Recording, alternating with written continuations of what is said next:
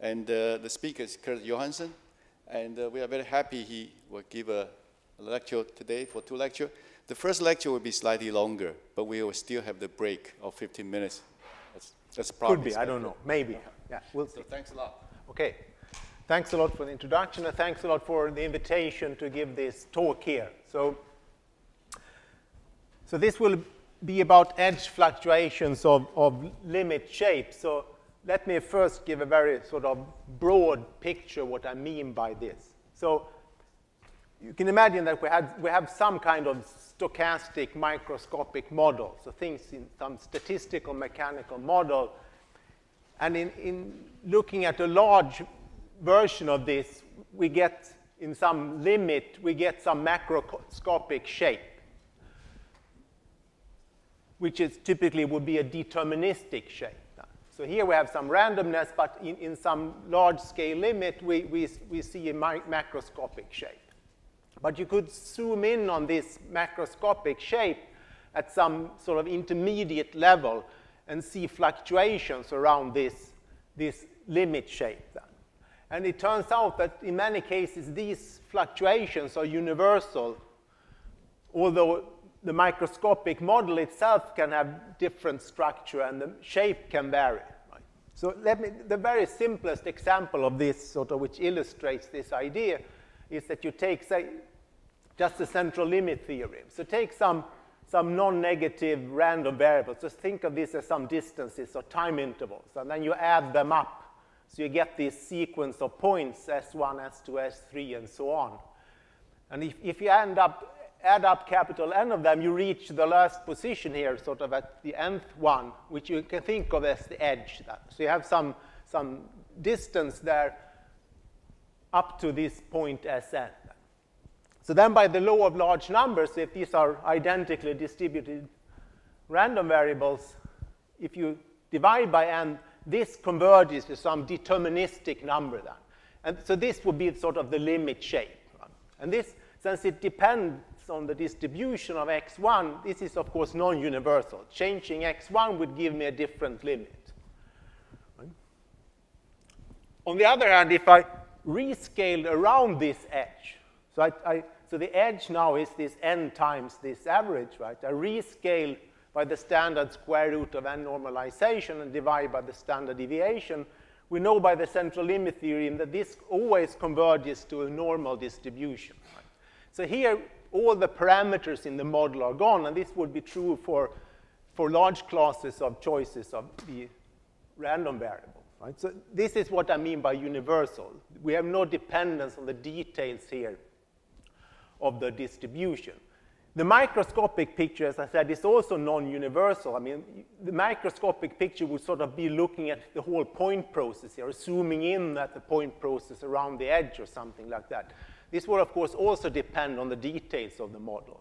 So there is a contrast here between non-universal and universal features. So, so what I want to talk about is this sort of phenomenon in a certain class of models, which are these random tiling models. So you can see immediately in the picture that there is some kind of limit shape here. So this is a certain region called the Aztec diamond, which is tiled by dominoes. So there is a very clear pattern here that you get some kind of limit shape here, which you can imagine would be a circle in the limit, right? So n grows and becomes larger and larger. So this would be the edge in this case, right? Of course, the behavior could be a little different here than exactly where I touch the boundaries. There are different geometric situations, and this is something I will come back to. So this would be the edge then. So if I change some parameter in the model, so now I give different weights here to different, for the two, so you have kind of horizontal and vertical dominoes if you turn your head 45 degrees, you give them somewhat different weights, then you see that the macroscopic shape changes here. But you would still, I could still expect that the fluctuations of these boundaries would be the same in both cases. So this is what I mean by so the universality. Yeah? Well, the colors, I will explain maybe a little. Color, they're, they're sort of, there is a bipartite, a black and white coloring behind this. And depending on how how the, vertical domino can cover in two ways, and this gives two colors, and the horizontal can cover in two ways. So this gives the colors. Other questions? So there are many other, you can do different models. This is the model I will talk more about in the second lecture here. So this is also an Aztec diamond, but with a different weighting, which I will come back to, called the two periodic weights. And here you also see some shape emerging, right? But there also seems to be some other shape here. So there are different types of regions here. So we could also try to understand what, what, what are sort of, there could be some kind of edge fluctuations here also. So the limit shapes then would be some, as I said, some deterministic objects. I will, the liquid, solid, gas, I will explain later what, what that means in this context. So these are the non-random limit curves, and what we're interested in are sort of the fluctuations I mean, if we go back here, the, these, there would be some fluctuations here around this, this limit shape, right? So just as we saw in the central limit theory. So you, of course, this could again be a normal distribution, but it turns out that it's not, and that there is a very rich theory around what, what the edge, statistical edge behavior is in this model. So there are many different models here. Here's another example where we instead have rhombi or lozenges and tile this hexagonal region. And if you turn your head slightly here now, you can see that this also looks like cubes stacked in a corner, right? You can see these cubes, there's sort of, there's a bottom face here and there are some cubes here and I build up this surface, right? So there's also kind of random surface shape here. And this is true also for this Aztec diamond, that there's this kind of height representation. I will come back to this in the case of the, ran, of the Aztec diamond later, which is sort of is the prototypical example here now. So, so here, here you see there's also kind of limit, seems to be some limit shape of this surface here. So the edge now would be when this curved surface here hits this flat boundary. So you could imagine this as some kind of crystal where you have these facets and you have some rough part of the crystal, and this rough part meets this, this facet here. So this is an important representation also of these models as a kind of random surface. So you could also ask what, what, what are the fluctuations of this random surface itself? That's another type of question which I will not discuss. So this is not what I would call edge fluctuations in this talk. There also, this is, of course, also fluctuations about the limit shape, but I'm interested sort of in this type of boundaries that you see here. So this type of models, these random tiling models, are closely related in many ways with, the, with so-called local random growth models that have been much studied recently. So this is actually an experimental realization of these kind of things by Takeuchi and Sano. So you have this growing region here. So here you also see you get some kind of limit shape, but the, the, the edge is sort of rough here.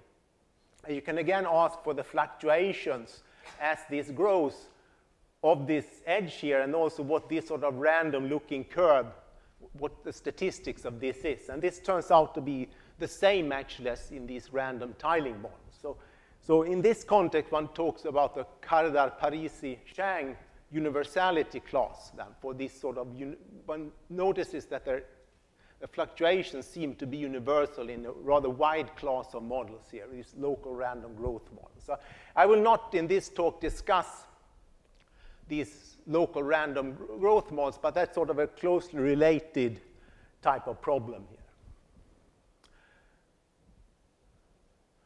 So as I said, we want to understand these edge scaling limits then. So you can, and we expect them to be universal from this sort of very vague, of course, argument that I had in the beginning here. So typical questions then, uh, which limits can we actually get here?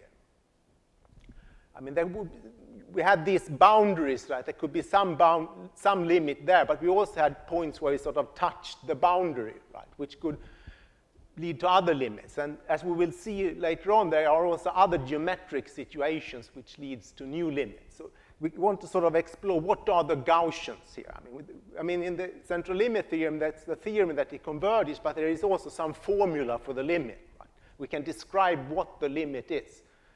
Um, so we want to have, we want to know what are the natural limits that we can get within this class of models that would be these sort of universal limits processes. Then.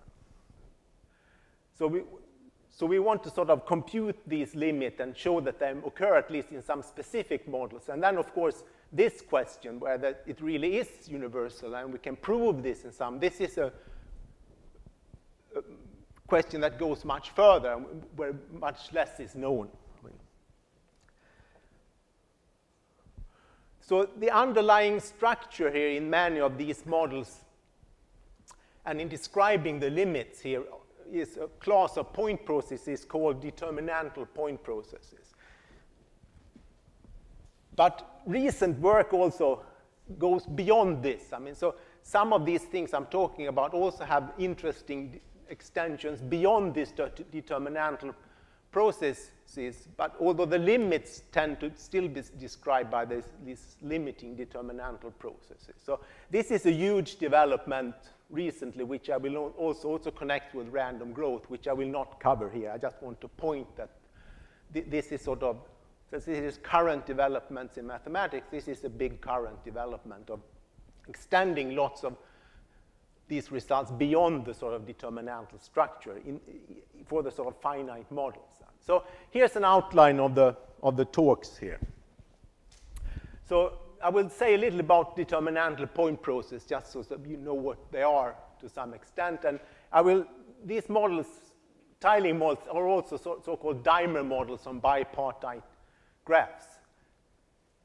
They can also be described by non-intersecting paths, and I want to sort of have both these pictures. And then I will sort of just go through and list some of these scaling limits that you can get. I mean, I will not really discuss how you do with the asymptotics.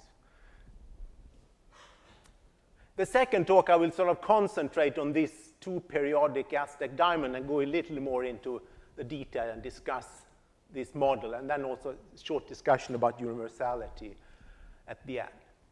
So, any questions so far? Okay, so let's start with very brief introduction to determinantal point processes. So, let X be some space here. You can think of the real line, the integer, so some finite set. And we have some reference measure on this set. So, I mean, if we have R, we would typically have Lebesgue measure. On a finite set, we would have counting measure as our reference measure. And we have some point process on this space X. So some random set of points where xi belongs to the set X. Then. So this could be finite or it could be infinite. So how do you characterize a random point process? Well, what you can do is that you, you take some positive function with compact support on this space. Continuous, uh, say, we think this could be, say, a metric space or locally compact space or something like that. We take some function psi and we sample the points with this function and sum over all the points. So you can imagine if we know the distribution of all these sums for all choices of psi, then we have a description of the process. We can count the number of points, say, in different intervals or approximations of that. So we look at the Laplace transform of all these random variables. So if you replace this sum here with a product and write this as 1 minus 1 minus this, it's just the same thing, and we can call this phi. So this is still some compactly supported function here. So we really want to understand the expectation of some product of this form, where phi is between 0 and 1. Say. So what can you do? Well, you can expand the product, right? And then when you expand the product, you have to integrate this against something. So say that this something that you have to integrate against has some density with respect to this reference measure that we had. Then these functions that you get here in this expansion are called the correlation functions of this point process. So if they exist, for, you know them from all n, then you, you know sort of what the point process is. So one way of describing a point process is to give all these correlation functions. And if you think this, this computation through, if you have a discrete model, so say that you're on a finite set or C or something like that, then this rho n is just the probability of finding particles at x1 up to xn. Otherwise, it's sort of a density then of particles or n tuples of particles. So not the probability density, but the density. But we're thinking mostly of discrete models now, so you can think of this as the probability of finding particles at these points. So determinantal point process is a special class of point processes then where these correlation functions are given by a determinant with a certain function of two variable k here. So determinant of k, x, i, x, j here, where i and j go between 1 and n then where if I have these n particles. So it's an n by n determinant. So this function k of x is called the correlation kernel. Got some So if I give you the correlation kernel, uh, then this describes the whole process. So the process is given in terms of the, of the correlation kernel. So, so this is an interesting subclass of, of point processes. So an example of a computation here that is typical here for determinantal process is that, okay, we had this, we had this expectation of this product now we replace the correlation function had this form. So if you've seen a Fredholm expansion of a Fredholm determinant, you may recognize this type of object. Right? So for example, if I let phi of x be the indicator function and x is greater than psi here, and I insert this into this formula, then of course each, of, each factor here will be zero unless xi is less than or equal to psi. Right? So the product then will be the indicator that all particles are less than or equal to psi here. So by this formula, then, we see that this is given by this expansion here, which is just the expansion of this Fredholm determinant. So Fredholm determinants feature prominently in, in the theory of determinant processes. These type of probabilities are given by Fredholm determinants. So the importance of these determinantal processes now in, the, in this class of random tiling models or dimer models that we talk about is that they are determinantal point processes. So, so what we need then is some formulas for these correlation kernels. I mean, the determinantal point process is given by this correlation kernel. Right? We want some formula for this. But as I said, we're interested in scaling limits here. So we actually want, we want to have a useful formula, right? something which we can use to compute asymptotic from. Right? So the scaling limits will be given by, by limiting correlation kernels. Right? So, so I will, the, the scaling limits that we see in these pictures when we zoom in at these boundaries will be given by certain correlation kernels. So the question is, what kind of natural limiting correlation kernels can we get? So let me start now by, by looking at these dimer models. Then. So here is this Aztec diamond shape. So this model was introduced more than 20 years ago by Elkies, Kuperberg, Larsen, and Propp. So it's a, it's a sort of a very nice basic model in this framework somehow. So uh, the pictures have been sort of turned here now. So, so this, this blue thing is, is sort of something covering there, which would be sort of horizontal domino. Something covering there would be this vertical domino. Here it's two colors, but you can imagine that I had sort of, I do a checkerboard coloring of this, of this region also, sort of black, white, black, white, and so on, right? And then these two can cover in different ways. And this gives these colors that I, you saw in the previous pictures. And I can also give different weights, say, to the, to the blue and the vertical, blue and the red dominoes here, the horizontal and, and ver vertical dominoes, right? So, so, so this, and this you saw when I changed the parameter, this would change the shape of the picture here now. But you can also think of this as a dimer model. So so you, you, you look at sort of the dual graph of what you, the graph that you see here. So then you, you sort of have vertices at these, in these squares here, and these dominoes corresponds to covering every vertex exactly once, right, by these so-called dimers. Then. So if we look, so there is this underlying graph where you have this sort of black and white coloring structure. So it's a bipartite graph. And you have to cover, so here you cover this with this domino here, or this dimer, as we say now, right? And you cover this one, this one. So, so all dimer coverings of this graph here corresponds directly to, the cover, to these domino tilings. So it's a special type of so-called dimer model on this sort of Aztec diamond graph. So we, as I said, we could have different weights here. No? So more generally, we can, to each, to all, each edge in this graph, we can assign some weight, I mean, say some positive weight.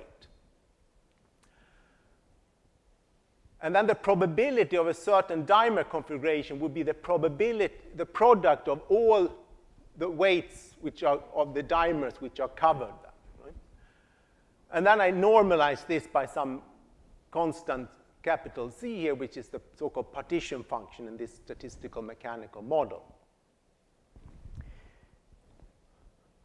And since this is a bipartite graph now, I mean, you see you have to, oh, sorry, you have to if I have the black vertices B1 to Bn, say, and the white vertices W1 to Wn, then a dimer goes from some black vertex to some white vertex, right? So if this is vertex i, it goes to vertex sigma i. I mean, there's some numbering here. Doesn't, I choose some numbering of the black and white vertices.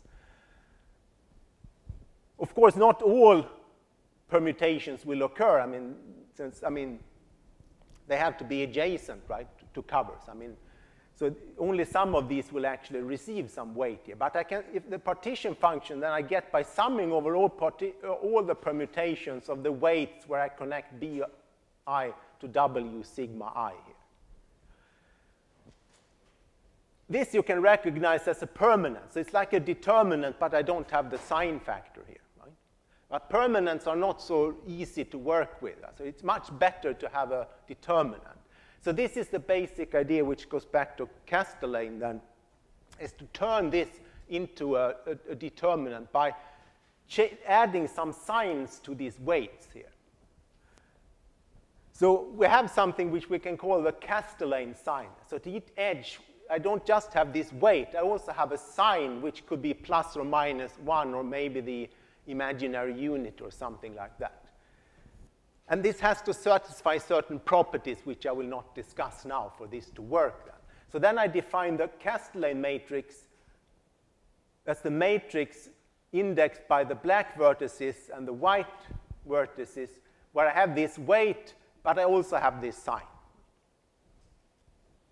So for example, for the Aztec diamond, this choice works then. That I take, if, if this is a horizontal edge, then I just take the weight. If it's vertical, I multiply by square root of minus 1.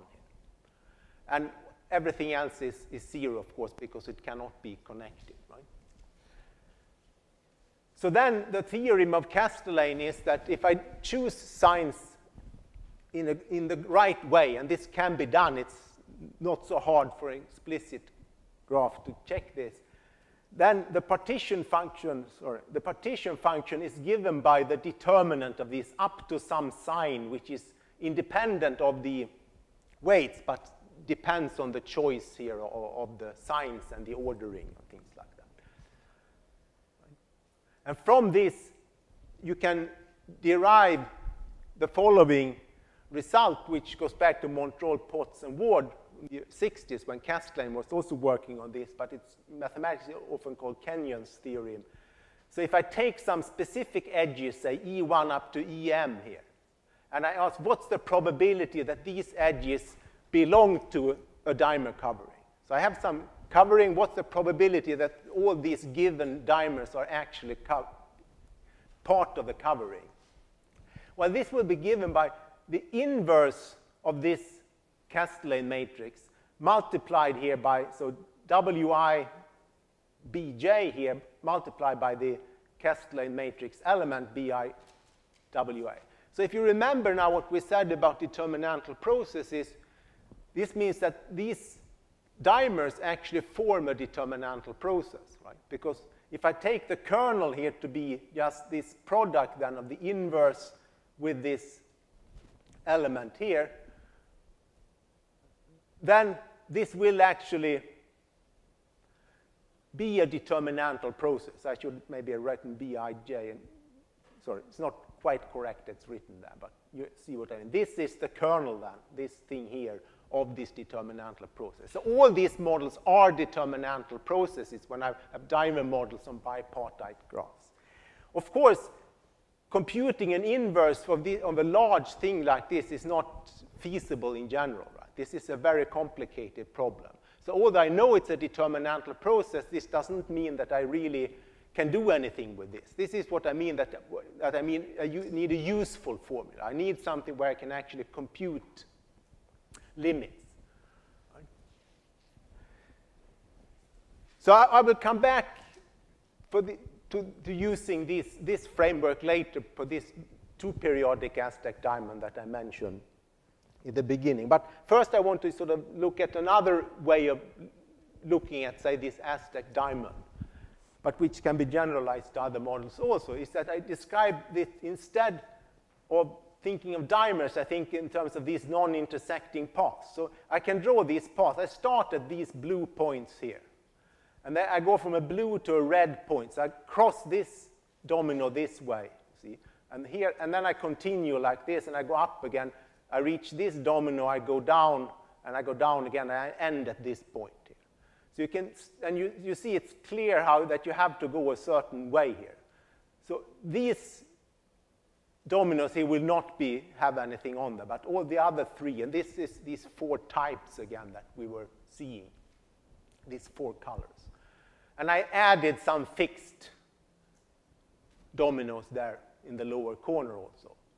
So I go from blue to red and then from red to blue, but they can coincide. But if I split them, the red and the blue, I get this picture here. So this is just another representation of this, of this domino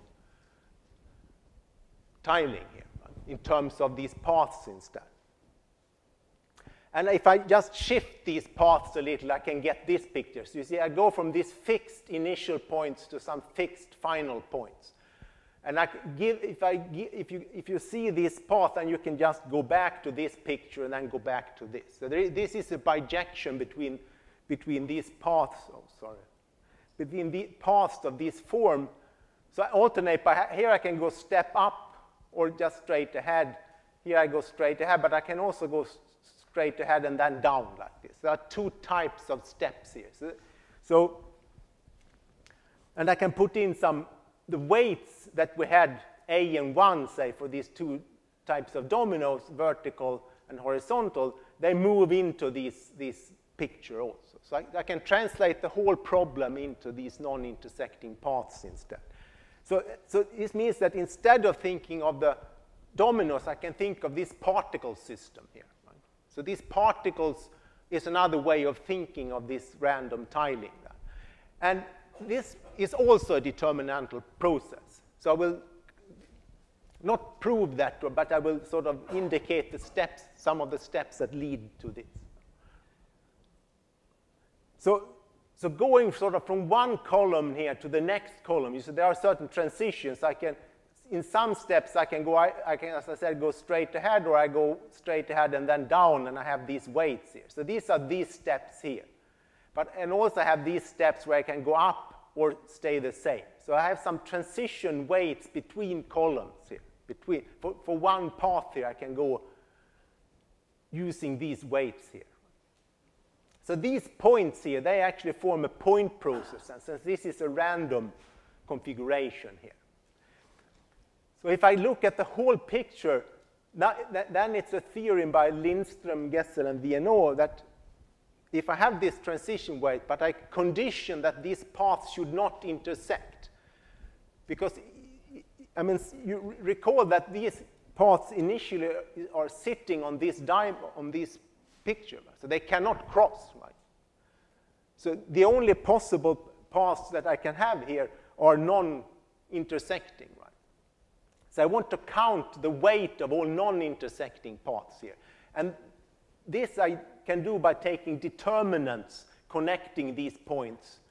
These are the coordinates of the points in the different columns then, and taking this determinant. This gives the weight to do, take one step here, but without intersection. And the product of all this is then the weight for the whole non-intersecting path pictures. And then I have to normalize again to get the probability then. So this, this is a representation of the sort of measure describing this point process here now. And now it's a theorem that if you have a measure of this form, then this always defines a determinantal point process. So this, I will not discuss this here. We have to accept this as a fact. So this, this is a computation with determinants. It's, it's, just, it's a computation going back to the definition I had of, of what I mean by a determinantal point process. But more than that, you can actually also give a formula for the correlation kernel. So there is this formula for the correlation kernel in this case. And what comes into this formula, so this PRSUV, this is the transition weight from column R to column S now. So I mean, I go from one column to some column farther away. This will also be given by a determinant. But, uh, but I mean, if I look at just going from point X to Y with sort of one path, then this is the transition weight for this. And this matrix A, which I have to invert here, this is the matrix of all transition from the fixed starting points to the fixed final points. Recall from the picture that the, these points and these points are fixed at these positions.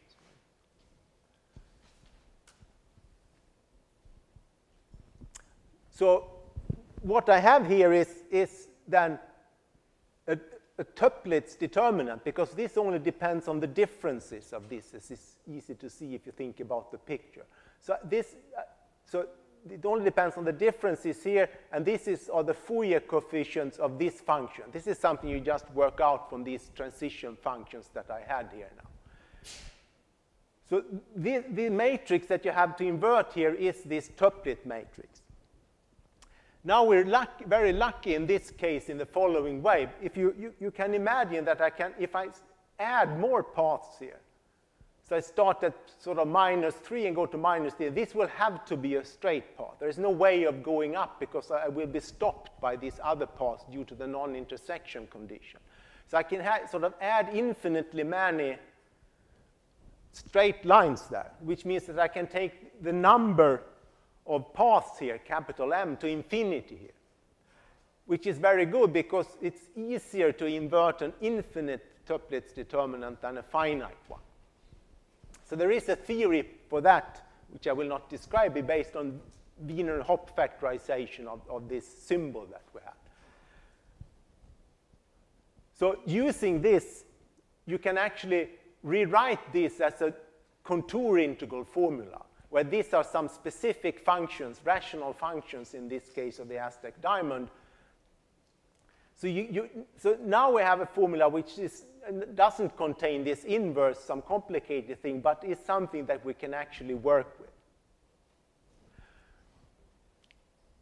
So I described this now in the case of the, of the Aztec diamond, but the theory is, is broader here. This is an example of a so-called Schur process, which was introduced by Okounkov and Reshetikhin, and it's called a Schur process because these determinants that I have by the so-called Jacobi-Trudi formula, they are actually so-called Schur functions or Schur polynomials in this case. So this product of determinants is a product of these Schur polynomials, and you can use lots of fact about Schur polynomials also to work with this. I mean, so, so hence the name here. So here we have what, what I sort of what we can call now a useful formula in this context. So, and it, this type of Schur process occur also in many other examples. I mean, so this is what I discussed now. You can look at random skew plane partitions. There are also these local random growth models that I mentioned briefly, which fit into this picture in certain cases, on some last passage percolation models also. So this is a rather rich class of determinantal processes which comes sort of from this kind of non-intersecting path models. So let me now come to sort of the scaling limits. So let me draw just a schematic thing here. So, for, for, so what, what we have this sort of Aztec diamond shape, right? And then, then we had some, some picture like this, which in the limit should be, go to a circle. Right? So now you can, I could zoom in somewhere here, say. This would be sort of a typical point that I look at sort of the, the bound, in the curve that I see that bounds to this regular tiled region that I have. I could also some, zoom in here, say, would be, would be a more special situation. So these two cases are, are rather different. So there are basically two situations here where when I zoom in at a point like this, I have to rescale sort of continuously in both directions. There is one direction here, sort of in one direction here, and I have to rescale to continuous variables in both directions. Whereas when I look at this case, it's, I actually sort of keep it discrete in this direction, but continuous in the other direction. So there are different types of scaling limits that you can do here. So, so what I mean by a scaling limit then is we have this kernel here, right? And then the variables I have in the kernel I do some rescaling like this with some exponents. n is, th this is the size of this Aztec diamond here. So gamma and delta are some exponents. Rho i and psi are the new continuous variables here. Alpha and beta are some constants, right, which you have to compute. C and n are, C and D here are the, what describes the macroscopic shape. Right? I have to zoom in I want to zoom in at the boundaries. I want to really zoom in at this point. So the choice of C and D determines that I'm at the boundary. Right?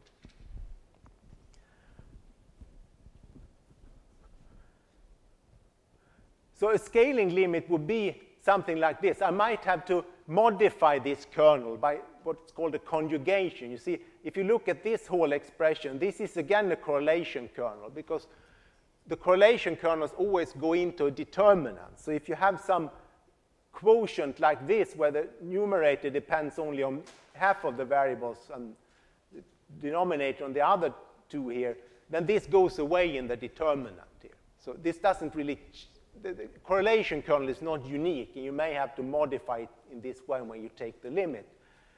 And then I this factor that I had here, I multiply by also. So and this should have some scaling limit, which then describes what I see in the limit. So the limit should be again be a new point process, which is given by this kernel here. I could also, as I had, which is the case at this point here, that I keep one of the variables discrete and only do a continuous rescaling in the other variable. Right? Then I end up with this situation instead. And typical exponents here in this, in this sort of, in this basic situation, where I look at the boundary here, would be what's called the KPZ scaling exponents, which are delta one-third here. So this is one-third, and this gamma is two-third here. But depending on the geometric situation, these exponents can vary. So let's just walk through these, these cases that you can get here. So this is the typical edge behavior. This is what I, when you zoom in at this, around the boundary that we saw in this picture here. This is what you would see in this local random growth model. So the limiting kernel that you get has this form. You don't have to sort of, if you haven't seen this before, it looks strange, just accept that there is some formula for the limiting kernel, which is called the extended Airy kernel in this case. It co contains the Airy function, hence the name. If, if rho 1 is equal to rho 2, I get what's called the Airy kernel. Right? So the picture you should think of is something like this, that I've scaled continuously in this direction and in this direction. So this, this, this corresponds to this, what I see here. Right? So there are sort of several, actually several lines here. So this is this outer line here. And then there's a second line and a third line here. And if you, in, in the limit, these will go to some continuous curve. This is called the Airy line ensemble. And the boundary that you see in the picture should be in the limit given by this top curve. And what this kernel describes then is that I intersect this at some points, tau 1, tau 2, tau 3, tau 4, and so some finite number of points.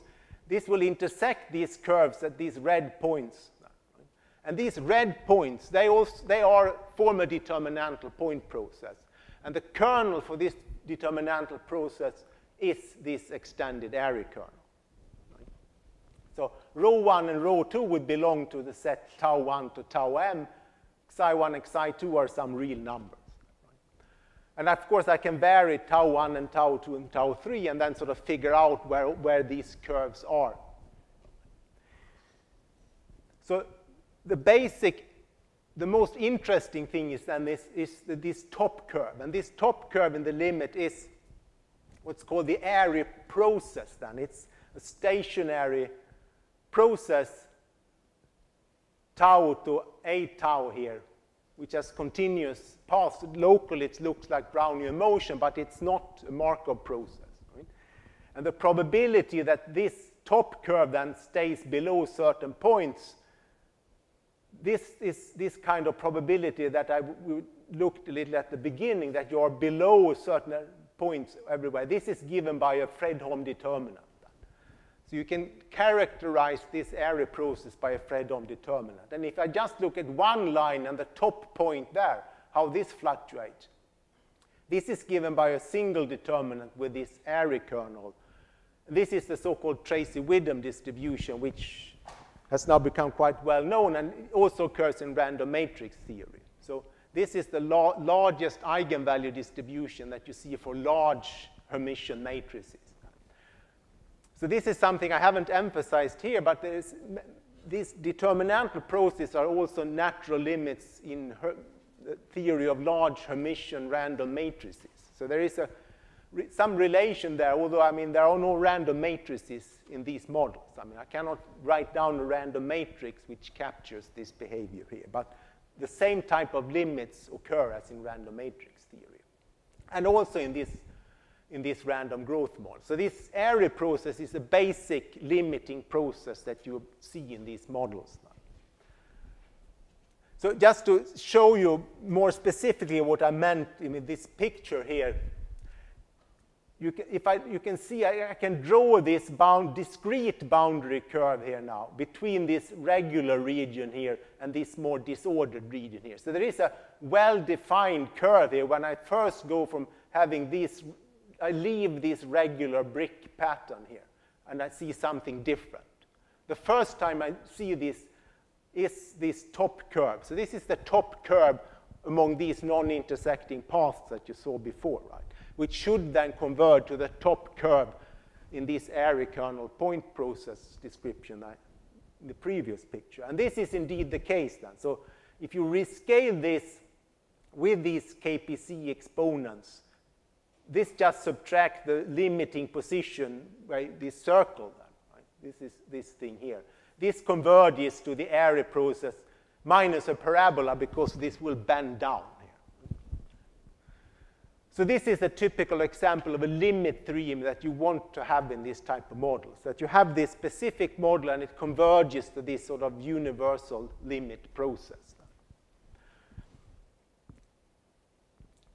But as I said, this is, this is the, the sort of the typical situation, but you can have other situa geometric situations also, which are more special than. So a, a special situation is illustrated in this picture. So this is a different type of model called a random skew planar partition. This is what Okounkov and Reshetikhin studied when they introduced this Schur process. So I will not, you, you, you, sort of have these walls here and you have sort of like these cubes stacked in this corner again. So let me not define the model precisely, but you can these curves here should again converge to this Airy process. And similarly for this curve, but these curves can sort of meet at this point, which in the limit shape would be a cusp. And if you zoom in then exactly at this cusp, you would expect to see something different, right? You will not get the Airy process again. You sort of you have these sort of two merging Airy processes. So if you zoom in exactly at this point, you get a different limiting kernel, and which called the Pearcey kernel. So don't worry about the details. Again, again, you zoom in, you have to choose different exponents here than the KPZ ones in this case. And you get this formula here for the limiting kernel, right?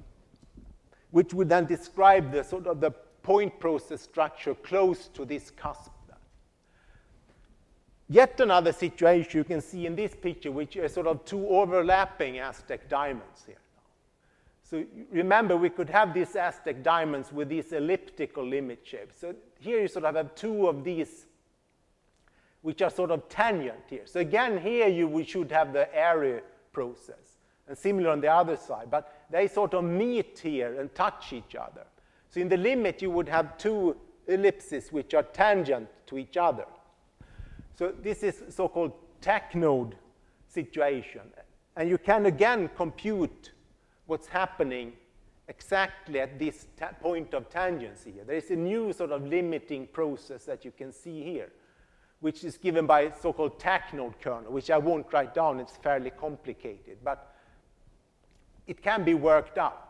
So here we actually leave this Schur process framework. So this is more complicated because if you look into the formulas that I had, here you end up that you have to invert a finite Toeplitz matrix instead. You cannot take this limit to an infinite Toeplitz matrix. So this makes this situation more complicated. I also said that you could have these discrete continuum limits. So you keep one variable discrete here. So let me discuss just this situation here now. So recall that we had this, when we had these non-intersecting paths, I had these sort of blue and red points. So actually they were, these, this red point and this blue point were sitting at this position there. But I can shift them to the side so they sit on the dominoes or at the vertices in this Aztec diamond graph that we have. So if you look at the blue points here, they have this sort of interlacing structure, one, two, three here. So let's keep just the blue points and look at the large picture. So the, then you sort of have one, and then you have two, and you have three. If you would go sort of one step, it's a little hard to see. If you go once, maybe it's even clearer here. You have one, then you have two, you have three, and so on for the holes there, right? So you can zoom in at this point here, which is exactly this point of tangency there, and see what kind of behavior you have for these interlacing particles at this point. So if, if I look here again, you should see the Airy process, but when the Airy process, when you approach this point of tangency with the boundary here, you get something different, and the right limit is this discrete continuum limit. So if I zoom in there, you get what's called the GOE minor or corners kernel instead, which can be expressed in terms of Hermite polynomials. So this is yet another sort of special geometric situation here. And there are more situations. There are two more. I will just mention them briefly here to just so you see the collection of things that are known in this type of models. Now, you can have a special cusp situation also, where you have actually two different type of tiles going into the cusp. This was not the case in the previous picture. So here the right thing is also to keep it discrete in the direction orthogonal to the cusp here, and continuum scaling in this direction along the cusp. Actually, this point here fluctuate like a Tracy-Widom distribution, which is not the case in the Pearcey so here there is a new kernel called the cusp Airy kernel, which you can also compute. So this is yet another special situation here. The most special, and but also as I will say in the last slides for this first part then, is, is this situation. You have sort of this type of recall we had this sort of GUE corner or minor process here where you sort of had discrete things. So you could have two of these meeting like this. So you have these, these sort of belong to the left Aztec and this to the right Aztec, and they have a certain interlacing structure here where they meet. So you can zoom in exactly at that point also and compute yet another rather complicated kernel called the discrete tacnode kernel.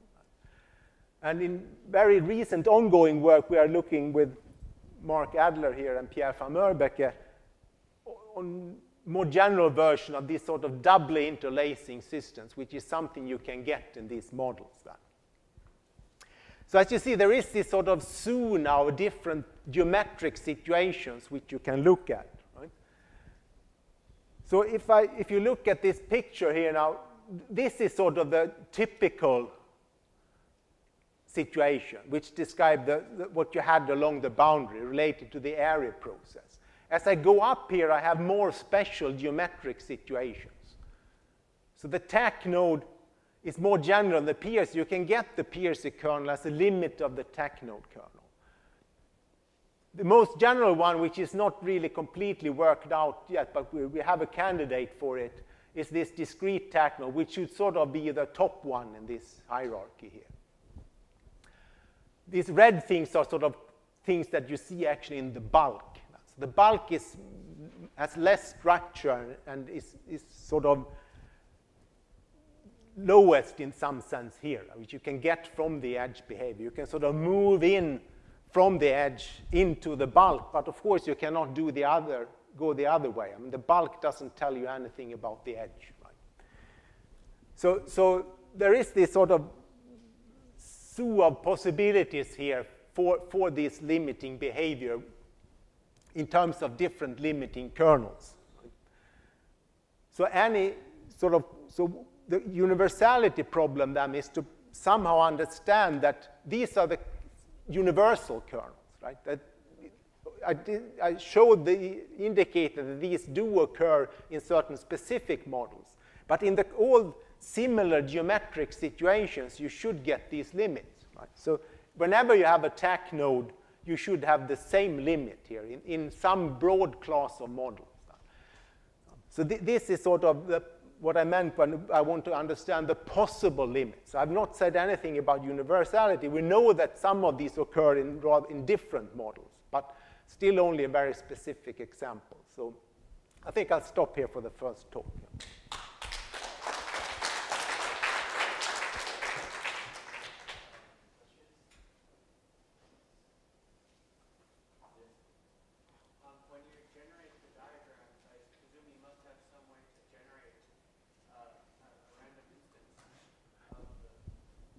For the simulations here? Yes, yeah, yeah. There are there are sort of. Well, I, I, I there is a certain. I mean, it goes back to something called the shuffling algorithm, which was developed. So there is sort of an exact simulation algorithm for this. If you take just the Aztec diamond, you can generate it successively larger Aztec diamonds with an exact sampling algorithm. So, so there, there, are ways of, sort of actually from, say, from a distribution here to exactly sample a large one like this. So th this is sort of, it's a good question, and it's, I should say that it's been really, it's important aspect that you can actually do this. I mean, that because it, it's sort of, I mean, we don't really use any computers when doing the math here, but to understand what can happen, these pictures have been very important. I mean, so it shows the influence, I think, of simulations in, in finding out what can happen.